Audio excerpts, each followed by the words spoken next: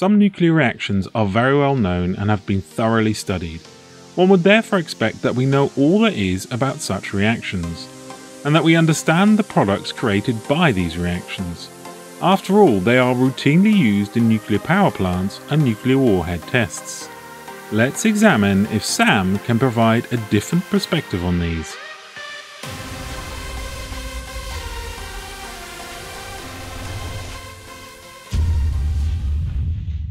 In essence, there are two types of nuclear reactions fusing and fissioning, which is building and disintegration of elements. Transmutations are a result of these and often result in the emission or absorption in some cases of particles called alpha and beta particles. Beta particle emissions are split into two groups, beta minus and beta plus, the latter may actually show the absorption of a particle rather than the emission, but this is something that we will come back to later. We will start with alpha decay. Here an atom ejects an alpha particle and is converted into a different element. But why is an alpha particle emitted and not a series of protons, neutrons, or a combination of these? In SAM we use the concept of densest packing, which means a combination of protons and proton-electron pairs will attempt to pack themselves into the smallest possible configuration as this will be the lowest energy configuration. Unstable atoms are therefore in a specific configuration that is not stable. They need to resettle to adhere to the lowest energy state and maximum binding energy.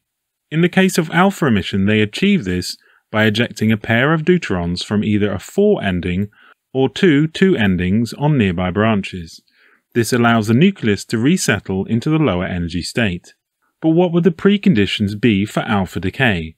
With some minor exceptions, there would need to be enough structure in the nucleus so that there are these four endings or two endings, or possibly some proton-electron pairs, on different branches but close together.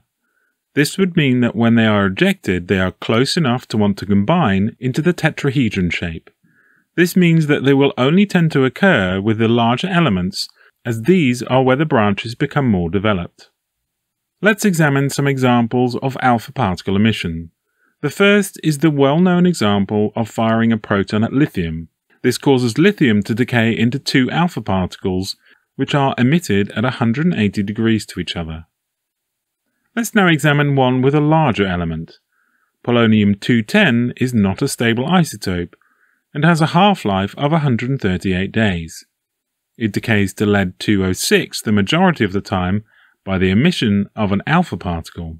As we can see, this has a 4 ending. Two deuterons are ejected from either side, combining into a tetrahedron, which becomes our alpha particle which is emitted. This means the nucleus must resettle, and we can see a slight change to the shape, going from polonium-210 to lead-206. Let's now examine beta decay. In the language of the Standard Model, when a neutron in the nucleus is converted into a proton, a high-speed electron is emitted as well as an antineutrino. This is called beta minus decay. Equally, if a proton is converted into a neutron, then a high-speed positron is emitted as well as a neutrino. Current theory holds that the positron is an electron with a positive charge. This is called beta plus decay. Let's start by examining beta minus decay. In SAM, there is no fundamental neutron, therefore when a proton-electron pair in the nucleus loses an electron, the proton remains and the electron is ejected from the nucleus. This can occur if two proton-electron pairs combine to create a deuteron. This can also happen when there is no room in the nucleus to hold all the inner electrons, when there is too much negative charge inside the nucleus. As a consequence, one electron is emitted and a deuteron is created. This is a topic that we will cover in more detail in the future. Let's examine an example we are all familiar with from our densest packing video. When we looked at boron-12, we said that it would decay to carbon-12. With boron-12, we can see that there are two additional neutrons and proton-electron pairs. They would prefer to create a deuteron, but as each has its own inner electron, this is not possible. By removing one of these inner electrons from one of these pairs, we are left with a proton-electron pair and a single proton. These will readily join to create the deuteron. This means it has an additional deuteron and therefore is now a different element, in this case carbon. But what about the antineutrino then? When we examine the kinetic energy of the emitted electron, it should be a very specific value determined by the change in binding energy and the released energy when the electron detaches from the proton. Yet it is not. In fact, when we examine the kinetic energy, it seems to produce a continuous energy spectrum. The problem was solved by creating an additional particle, the antineutrino. This particle does not interact with normal matter, has almost no mass, but conveniently fills in the gap for the missing energy. So how would we explain this in SAM? There is no definitive answer at this stage, but in SAM they reject the notion of simply inventing a nearly unmeasurable particle with just the right properties. But it might be useful to ponder on this thought. When the inner electron leaves the nucleus, this is not an instantaneous step. It takes time. In this time, the electron loses its kinetic energy gained from the excess energy of the rearrangement.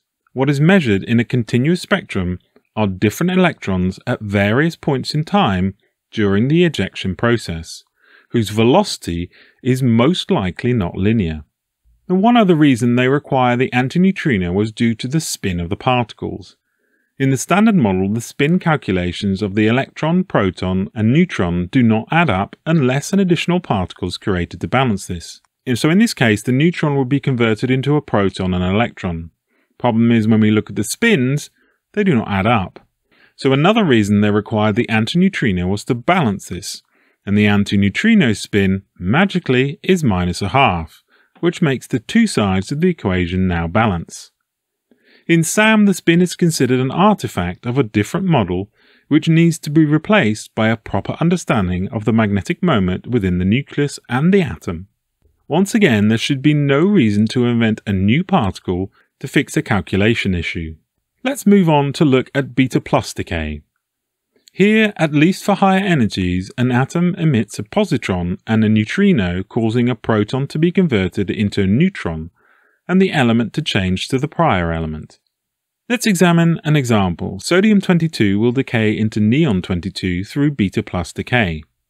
In the mainstream model, a positron is ejected, converting a proton into a neutron. This positron then eventually collides with an electron, annihilates, and produces a gamma ray. So let's consider a different way of looking at this reaction. When we first look at sodium-22, you can see the structure is not balanced. There is a lithium ending on one side and only a 4 ending on the other side. If we now look at neon-22, you will immediately see the structure is balanced and one of the protons has moved from the lithium ending to the other side and this would have meant that the deuteron on the lithium side would need to be split. This would leave one proton-electron pair on this side, but would require an additional electron to be pulled in, in order to allow the proton to join on the other side, forming a proton-electron pair. This electron is pulled from the outer shell, but as we now move to neon, we require one less electron in the outer shell anyway. You will also notice that there is a difference in the shape between sodium-22 and neon-22.